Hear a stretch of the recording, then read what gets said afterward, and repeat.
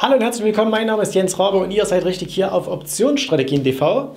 Heute geht es um Pop POP und zwar nicht um Popmusik, sondern um einen Begriff aus dem Optionshandel, nämlich der sogenannte Popwert. Was sich dahinter versteckt und worauf ihr da achten müsst, das erkläre ich euch jetzt in diesem Video.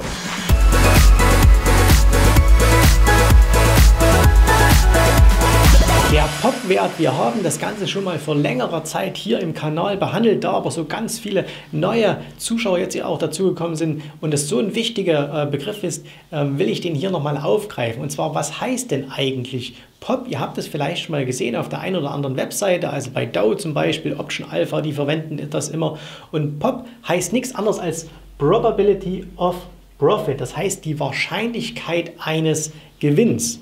Das heißt, man kann jede Option, wenn man sie handelt, mit diesem sogenannten Pop-Wert äh, betrachten und erfährt dadurch, wie groß die Wahrscheinlichkeit ist, dass dieser Trade mindestens einen Cent Gewinn macht. Ne? Das ist jetzt äh, vor Gebühren, aber das ist, man kann quasi ausrechnen, dass man sagt, okay, äh, wie groß ist die Wahrscheinlichkeit, dass dieser Trade überhaupt einen Gewinn macht. Und die meisten von euch, die das schon kennen, sagen jetzt, ja, ja klar, ganz logisch, das ist einfach nur die Umkehrung des Deltas. Ne? Also wenn ihr sagt, okay, ihr habt ja eine Option, die hat halt ein Delta von 10, dann äh, kehren wir das Ganze einfach um. Das heißt, wir haben hier eine 90-prozentige Wahrscheinlichkeit, dass dieser Trade am Ende ein Gewinner wird. Das stimmt aber nicht ganz, denn das betrifft ja nur die Seite des Verkaufes. Ne? Ähm, wir wissen ja, wenn wir eine Delta 10 Option haben und verkaufen diese, dann haben wir eine 90-prozentige Wahrscheinlichkeit, dass diese Option am Ende wertlos verfällt. Und das bedeutet eben im Umkehrschluss, wir haben einen 90-prozentigen Pop-Wert, ähm, der uns sagt, wir haben eine 90-prozentige Chance, mit diesem Trade am Ende Geld zu verdienen. Ne?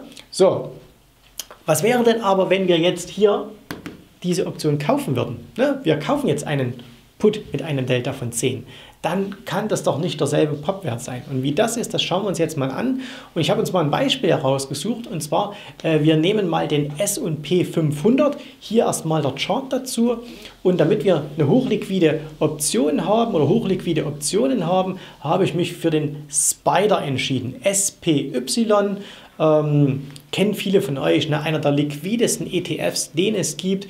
Äh, super liquide Optionen, also das äh, ist wirklich ein super Produkt auch für Einsteiger, weil er auch nicht vom Umfang her zu groß ist. So, und wir schauen uns jetzt mal äh, Folgendes an, und zwar, wir gehen her und sagen, wir nehmen eine Option ähm, mit, einem, mit einem Strike.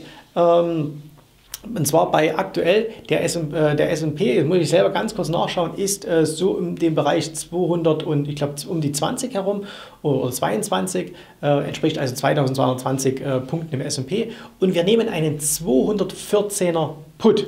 Ne? Und das entspricht ungefähr so ein Delta 12 in etwa, ne? also etwa Delta 12. Und ähm, wir schauen, wir haben eine Restlaufzeit von ähm, 52 Tagen. 52 Tagen Restlaufzeit. Und jetzt schauen wir uns doch mal Folgendes an. Und zwar hier im ersten Bild seht ihr, was wäre denn, wenn wir diesen Put kaufen würden. Und die Grafik, die ihr hier seht, die habe ich aus Dow entnommen. Äh, Dow, das ist ja diese, äh, die, die Plattform, wo man das grafisch sehr schön darstellen kann. Momentan äh, für Neuanmeldungen leider nicht verfügbar. Das wird aber in den nächsten Tagen wieder werden. Also ich denke mal spätestens ab Mitte März wird es wieder eine Möglichkeit äh, für alle geben, das zu nutzen. Äh, wenn das soweit ist, informiere ich euch hier im Kanal. Und ich habe euch mal hier auf diesem, äh, auf diesem Bild, habe ich euch mal... Ähm, mit rot markiert den Popwert. Ne? Das findet ihr also immer in der Plattform, da kann man sich das anzeigen lassen. Und da seht ihr hier, da steht ein Popwert von 12.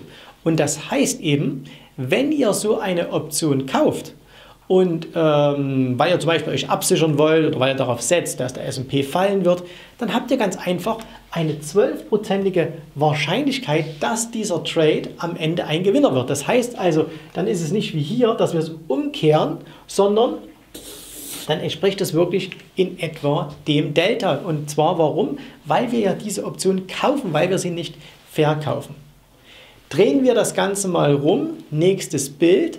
Das ist jetzt der gleiche Trade, plus eben, dass wir die Option diesmal nicht kaufen, sondern verkaufen. So, und ähm, erwartungsgemäß muss natürlich hier der Popwert genau andersrum sein. Und zwar, ihr seht es, genau 88 Prozent. Das ist also jetzt die Umkehrung des Deltas. Und äh, das heißt, wenn ihr also eine Delta äh, 12 Option, die müsste ungefähr ein Delta 12 haben, wenn ihr die also hier verkauft, habt ihr eine 88-prozentige Chance, dass der Trade am Ende ein Gewinner wird. Es ist keine Garantie, aber es ist zumindest eine sehr, sehr hohe Wahrscheinlichkeit. Und ihr seht auch, wenn ihr die beiden vergleicht, 12% Chance, 88% Chance, alle beide zusammen hätten 100% Chance. Ganz klar, irgendeiner muss am Ende ein Gewinner werden. Ja? Ähm, entweder der oder der, alle beide Trades können nicht gewinnen. Du kannst nicht sagen, ich kaufe den, es wird ein Gewinner und verkaufe ihn gleichzeitig, wird auch ein Gewinner, sondern nur einer kann es sein. Und ich finde diesen Popwert insofern ähm, ganz interessant, weil es gibt ja viele Strategien von Leuten, die immer sagen, du musst ganz weit aus dem Geld liegende Optionen kaufen, damit du, ähm, damit du gehatcht bist, wenn der große Einbruch kommt. Ne? Und da will ich euch mal hier noch ein nächstes Bild zeigen. Und zwar habe ich jetzt mal gesagt, okay, wir nehmen mal eine längere Laufzeit, über 140 Tage und kaufen einen 180er Put, also eine wirklich weit aus dem Geld liegende Option. Und viele Leute kaufen ja solche Optionen. Warum? Die sind natürlich spottbillig, die kosten nichts, weil sie sagen, wenn jetzt der Markt einbricht, dann explodieren ja diese weit aus dem Geld liegenden Optionen und äh, dann hedgst du dich ja quasi gegen den Einbruch. Ihr seht aber hier beim Blick auf den Pop-Wert, der ist 1%. Das heißt also, du hast eine einprozentige Wahrscheinlichkeit, dass du mit diesem Trade Geld verdienen wirst. Und jetzt kannst du dir vorstellen, wenn du sowas permanent machst, ne, irgendwann wirst du schon mal einen Treffer haben, dass dann wirklich sich so eine Option ver-20-facht, ver-30-facht und du ganz gut dastehst. Aber du wirst eben in 99% der Fälle mit so einer Option niemals Geld verdienen. Und deswegen kann das auf lange Frist einfach nicht funktionieren. Und ähm, es, gibt ja, es gab ja Fonds, die sowas versucht haben, ne? diese Black Swans Fonds, die genau solche Optionen permanent gekauft haben und die haben nie Geld verdient. Ne? Auf Dauer haben die immer Geld verloren. Die hatten immer mal ein paar gute Tage dabei, äh, wobei da auch viele äh, Mythen rumschwirren, ne? am Tag so und so viel verdient. Dann hat man herausgefunden, es gibt zum Beispiel so einen Fonds von äh, Nassim Taleb, äh, der, der angeblich mal an einem Tag, was weiß ich, so und so viel verdient hat. Man hat dann mal geschaut, so viele Optionen wurden an dem Tag gar nicht gehandelt. Also es konnte gar nicht sein. Und ähm, man sieht es auch an einigen prominenten Fonds, zum Beispiel Dirk Müller, der ja mit seinem Prämienfonds, den er aufgelegt hat, sehr, sehr stark auf Absicherung setzt. Er sagt, ich möchte nicht, dass die Anleger Geld verlieren, aber dem natürlich die Absicherung so viel Geld kostet, ähm, dass am Ende die Performance enorm darunter leidet. Und äh, deswegen ist das eben nicht sinnvoll. Und anhand dieses Pop-Wertes könnt ihr jetzt immer sehr schön nachvollziehen, wie groß ist denn das Ganze. Ne? Also wenn mal wieder einer zu euch kommt und sagt, hey, ich möchte hier eine Option kaufen, wie groß ist da die Chance? Dann sagt ihm, erklärt ihm das Thema Pop-Wert. Am besten noch sagt ihm hier, abonniert den Optionsstrategien-Kanal, da kann er selber nachschauen und dann weiß er eben, dass das in der Regel keinen Sinn macht, weil er permanent Geschäfte macht mit einer geringen Wahrscheinlichkeit, dann ist das nichts anderes als Lotteriespielen und Lotteriespielen kann natürlich und wird auch immer wieder einzelne Gewinner bringen, ist aber keine Geschäftsgrundlage.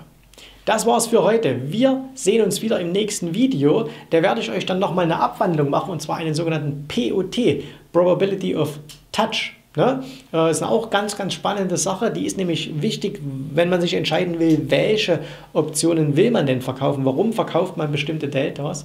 Und äh, wenn ihr auch spezielle Fragen habt zu bestimmten Begriffen aus dem Optionshandel, zu bestimmten Strategien, äh, zu Produkten und so weiter, dann schreibt mir das wie immer hier unten in die Kommentare und dann kann ich das für euch hier an dieser Stelle mit aufgreifen. Ich wünsche euch viel Erfolg beim Optionshandel. Wir sehen uns wieder demnächst hier auf diesem Kanal. Bis dahin euch alles Gute, viel Erfolg. Servus, macht's gut. Bye, bye.